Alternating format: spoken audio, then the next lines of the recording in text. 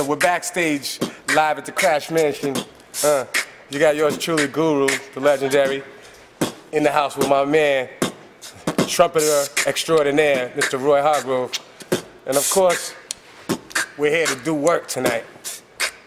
It's my honor to be Roy's special guest. I got my partner with me, super producer Solar in the house. And um, we're just gonna jam tonight. We're gonna do some a couple of classics.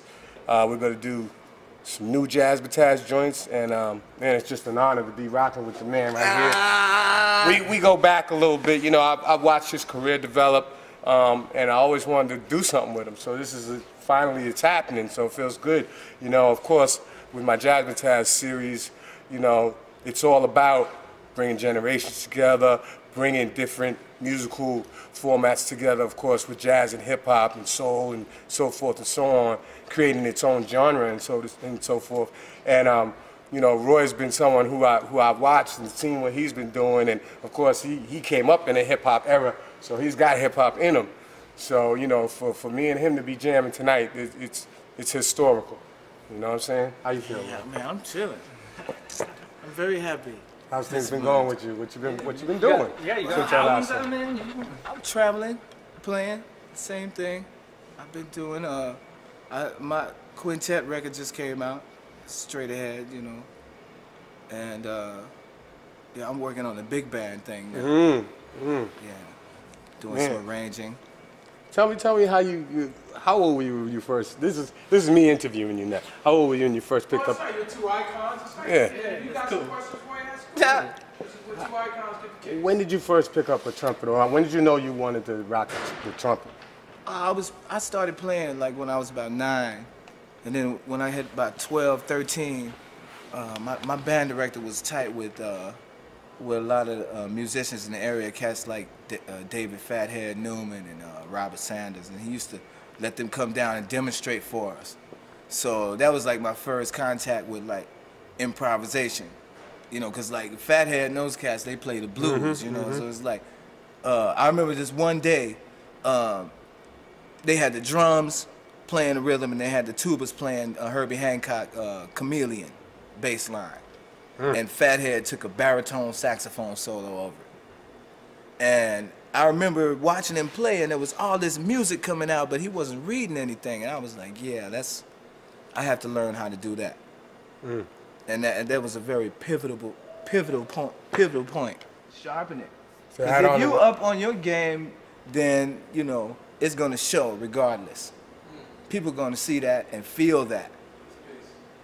If you halfway doing it, people gonna see that too. There it is. That's what I was gonna say because I think a, a lot of times you get the attitude uh, of certain certain cats thinking that they could just do it do it one day or twice, two days a week, or, Or when they when they feel like it. Yeah, or yeah, exactly, or or be a one time wonder and all that. But to have some longevity, to have some staying power, to have you know to really have your name out there and be respected for what you do, you gotta you gotta be dedicated thoroughly and immerse yourself totally into it. Mm, That's right. Yeah, so I, I agree with you. That's right. I agree with you. So um, again, you know, for me, you know, with the Jazzmatazz project, being able to work with accomplished, you know, musicians, vocalists, and so forth, forth, and artists that that hone their craft to the highest form, you know, that that's always been for me, you know, a joy.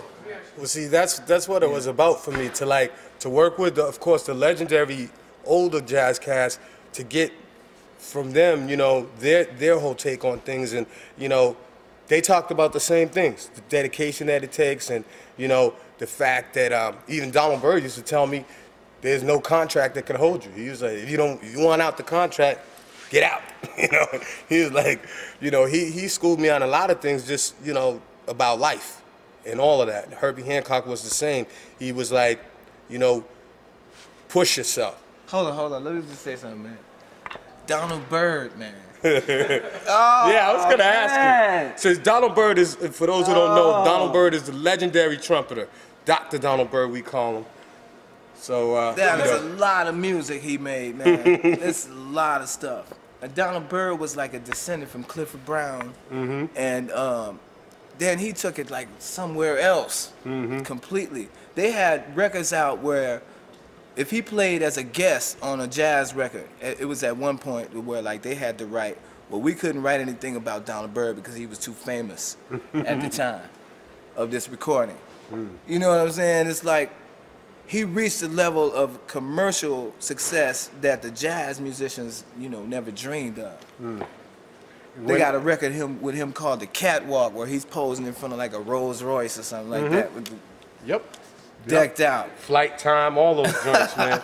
and the thing about it, he said he had his own jet. He flew his Oh, own. my he had his he had his own private jet that he Donald flew. He told me in Solar about that.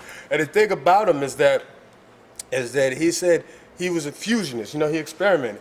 And a lot of Roy, we're gonna, we're gonna play this interview for, for Doc, Doc. yeah, we're gonna Oh, play it man. for Dr. We're Byrd. gonna be taking him for he talked man. about and Herbie Herbie I'm gonna play this for Herbie, Man. all these dudes, Ramsey Lewis, all these dudes are, you know, they experimented. So they didn't just stay with one so-called pure jazz Right, thing. yeah, they yeah. all felt that jazz could be more, that they could they could experiment with, you know, like like Uh-huh. with Ramsey and, and um with Herbie, they experimented with the synthesizer stuff Yeah, and, yeah. and other stuff. And Donald said he walked into Blue Note with a James Brown record and told the Blue Note suits, he said, I'm gonna do some jazz with these dudes over funk grooves, with these dudes I got from Howard who Uh-huh.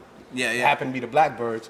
You know? Yeah, yeah, yeah. And um, he said all the cats at Blue Note, They was like, yeah, nah. they was like, nah, they threw the James Brown record out the Oh, windows. that's crazy. You know, and of course, It's he had huge, indicative. huge success with that. Come on, Yeah. Rock Creek Park, and Oh, it my goes, the list goes on.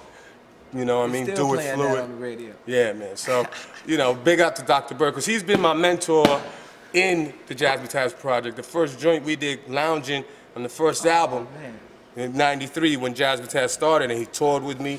And he was so cool. He would dress hip hop and everything, his hat to the back. And what I wanted to do was to get the up and coming jazz cats, the older jazz cats, and you know, um, on the new Jazzmatazz 4 that, that just dropped this summer, we got you know, up and coming rappers as well.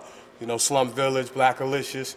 And so that was always a goal to kind of bring generations of talented, you know, people with vision and, and, you know, artistic vision and skill, bring those together. And of course, because we're talking about reintroducing real music to the game, okay? We're talking about hip hop, of course, at the foundation of it, but then elements, of course, of jazz, and then you've got elements of soul, um, funk, R&B, reggae, even, and of course, even rock and roll. You know, so now in, in the partnership that Solar and I have at Seven Grand, it's th- this whole Jazzmatazz thing has been reinvigorated thanks to Solar, and we've taken it to the next level now and introduced, reintroduced music to the hip hop heads. And that was necessary, especially coming out of New York. Because people were talking about hip hop's dead, or it's lacking this, or it's lacking that, or I'm tired of the same old thing on the radio, or this and that, and so forth and so on. We're reintroducing music, but making it fly, making it cool, making it bang. You understand? So you're still doing this with your head, but at the same time, you're getting music. And that is the key to it. So, you know, Jazzmatazz is, is historical for that reason, for the fact that when there was a void, when there was a lack of, we came with the goods.